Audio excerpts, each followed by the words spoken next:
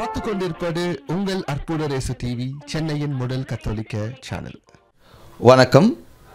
என்னோட பேர் நெல்சன் ஆண்டனி ஜோக்கியம் அற்புடு ரேசு டிவியோட ஃபவுண்டர் இப்போ நீங்கள் பார்த்து கொண்டு இருக்கும் இந்த நிகழ்ச்சியை ஷேர் பண்ணுங்கள் இன்னும் நான் உங்களை ரிக்வெஸ்ட் பண்ணுறேன்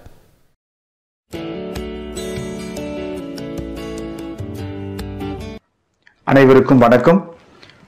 ஏசையா இறைவாக்கினர் நூலிலிருந்து ஐம்பத்தி எட்டாவது அதிகாரம் மூன்றாவது வசனத்தில் மக்கள் ஆண்டவரிடம் கேட்கிறார்கள்.